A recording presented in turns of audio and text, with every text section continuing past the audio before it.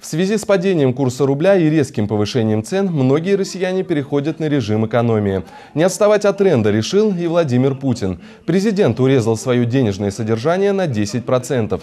Такие же ограничения коснулись высокопоставленных государственных служащих, таких как председатель правительства, генеральный прокурор, сотрудники аппарата президента.